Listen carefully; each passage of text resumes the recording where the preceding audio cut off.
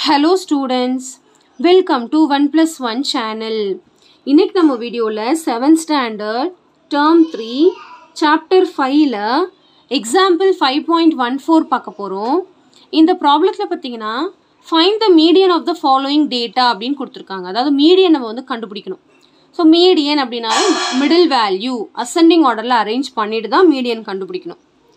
So ascending order பார்த்தீங்கன்னா small to big so இதில் small பார்த்தீங்கன்னா ஃபைவ் அதுக்கப்புறம் செவன் எழுதியிருக்காங்களா? ஸோ எழுதின நம்பர்லாம் அப்படி டிக் பண்ணிக்கலாம்.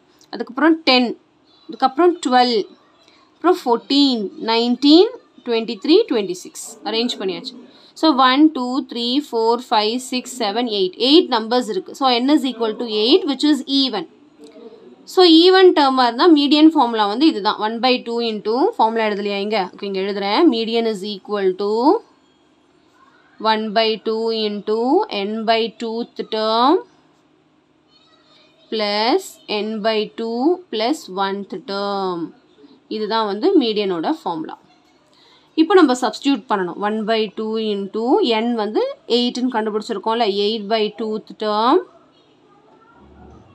plus eight by two plus oneth term ஃபார்முலாவில் சப்ஸ்டியூட் பண்ணியிருக்கோம்.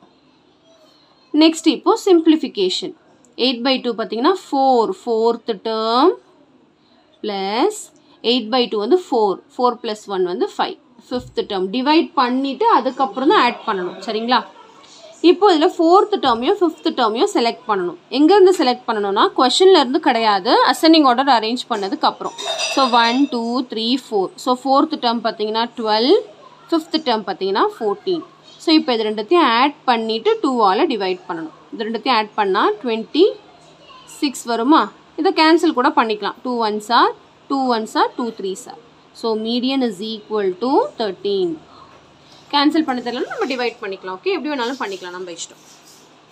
சிம்பிள் கான்செப்ட் தான். ரெண்டே ரெண்டு ஃபார்முலா தான் மீடியனுக்கு ஆர்டாக இருந்தால் N plus one by twoth term ஈவனாக இருந்தால் N one by two into N by twoth term plus N by two plus oneth term ஒன்று ஃபார்முலா யூஸ் பண்ணி போடலாம். இல்லை யூஸ் பண்ணாமலும் சொல்லி கொடுத்தேன் இல்லையா?